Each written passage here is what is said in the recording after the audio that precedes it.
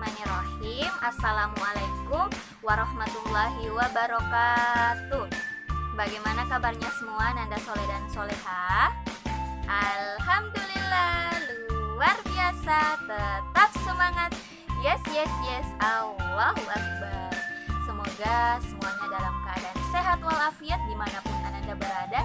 Bersemangat dan tentu perasaannya bahagia Untuk mengikuti pembelajaran karakter hari ini Nah Ananda Soleh dan Soleha semua Sebelum kita mulai pembelajaran hari ini Kita awali kegiatan kita dengan berdoa ya supaya apa yang kita lakukan hari ini mendapat berkah dan digantikan dengan banyak pahala oleh Allah Subhanahu wa.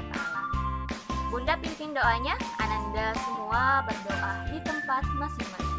Ada berdoa, angkat kedua tangan, kepala ditundukkan. Doa sebelum belajar. Bismillahirrahmanirrahim. Rabbi zidani ilman warzuqani fahman Rabbi israhli sadari wa yassir li amri Wahlul uqadatam min lisani yafqahu qawli Allahumma inni as'aluka ilman nafi'an wa rizqan tayyiban wa amalan mutaqabbalan amin Amin, amin ya robbal alamin. Terima kasih Ananda Soleh dan Soleha semua sudah berdoa bersama Bunda ya. Semoga kegiatan kita hari ini diberikan kemudahan dilancarkan oleh Allah Subhanahu wa taala. Nah, sudah siap belajar hari ini? Silahkan dipersiapkan uh, peralatan belajarnya ya.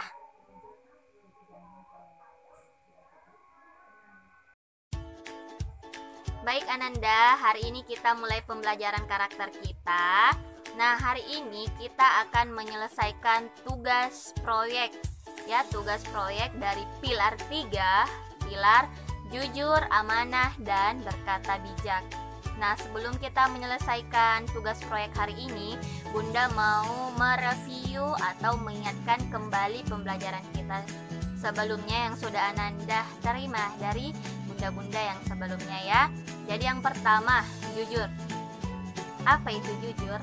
Ya, jadi jujur adalah berkata yang sebenarnya. Ya, mengungkapkan apa yang terjadi sesuai dengan keadaan, ya, sesuai dengan keadaan.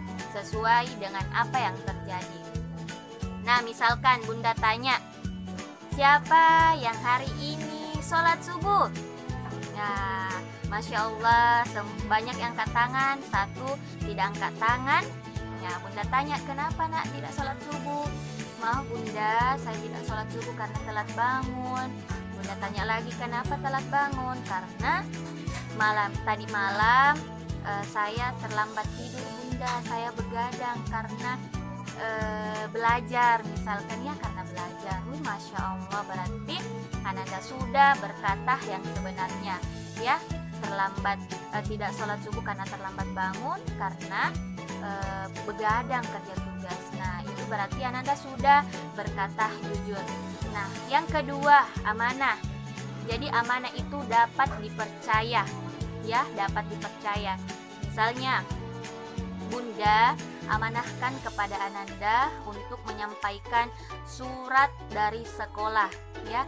Sesampai di rumah Ananda dengan semangat dari uh, semangat pulang sekolah menyampaikan surat dari seko surat dari sekolah kepada orang tua Ananda. Berarti Ananda sudah menjalankan tugas dengan baik, sudah menjalankan amanah dari Bunda di sekolah yaitu menyampaikan surat kepada kedua orang tua Ananda di rumah. Nah, misalnya lagi ya, Orang tua Ananda sebaliknya mengamanahkan Ananda untuk menyampaikan sebuah amplop yang Ananda tidak tahu apa isinya dan Ananda tidak e, mencari tahu apa isi dari amplop tersebut, tidak berusaha untuk membukanya. Nah, Ananda menyampaikannya dengan utuh kepada bunda di sekolah. Nah, berarti Ananda sudah e, menjalankan amanah dari orang tua Ananda. Yang ketiga yaitu berkata bijak.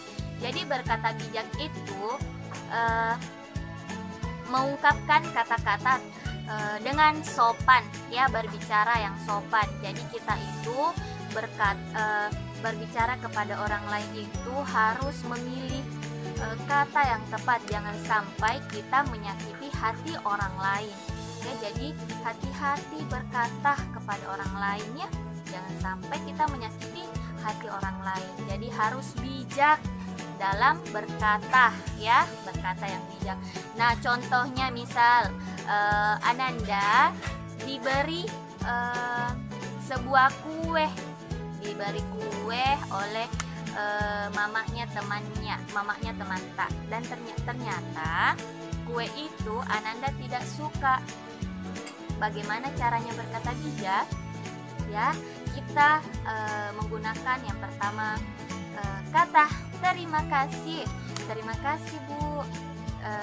Sudah menawarkan kuenya tapi saya tidak suka kue yang manis bu kita harus menolaknya dengan menggunakan kata yang bijak atau kata yang sopan.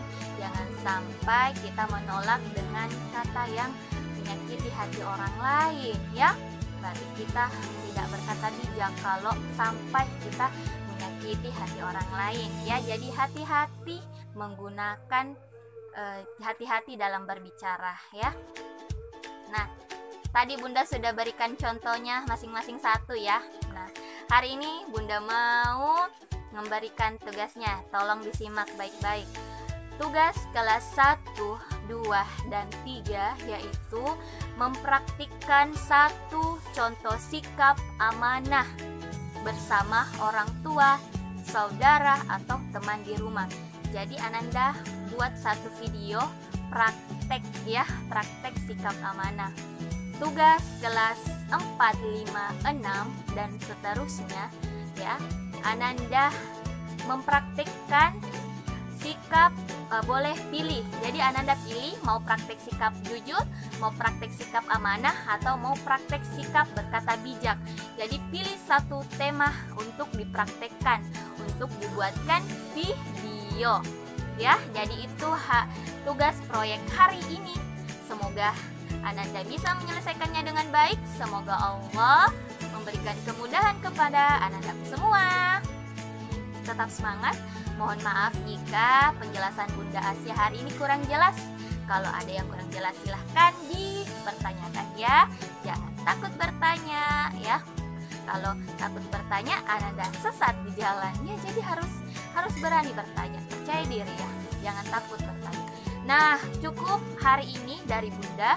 Insya Allah kita bertemu di pertemuan selanjutnya. Semangat kerja tugasnya Nanda. Assalamualaikum warahmatullahi wabarakatuh.